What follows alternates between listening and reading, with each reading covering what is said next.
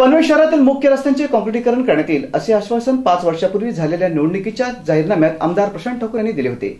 या प्रकरणी आमदार प्रशांत ठाकूर यांनी एमएमआरडीकडे पाठपुरावा करून त्याची पूर्तता केल्यामुळे पनवेल शहरातील मुख्य रस्त्याचे काँक्रिटीकरण करण्यात येत आहे.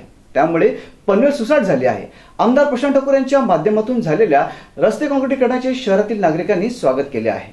निमुळते खड्डेमय रस्ते त्यावर स्पीड ब्रेकर शेजारील उघडे गटारे अशा समस्या येथील सर्वच रस्त्यांच्या होत्या. ही समस्या कायमस्वरूपी दूर करण्यासाठी अभ्यासू आमदार प्रशांत ठाकूर यांनी शहरातील मुख्य रस्त्यांचे काँक्रिटीकरण करण्यात येईल अशी घोषणा केली होती. त्याची पूर्तता होत आहे. पनवेल शहरात काही परिसर सकल त्याचबरोबर समुद्र सपाटीपासून खाली असल्याने पावसाळ्यात पाणी साचून रस्त्यांना खड्डे पडण्याचे प्रकार घडतात. त्याचबरोबर मुख्य रस्त्यांवर सतत वर्दळ असल्याने ते खराब होतात. एकंदरीत खड्डे डागडुजी व त्या संदर्भात ओरड ही महापालिकेची डोकेदुखी ठरली होती. यावर प्रभावी उपाययोजना म्हणून पनवेलच्या रस्त्याचे काँक्रीटीकरण करण्यात येत आहे.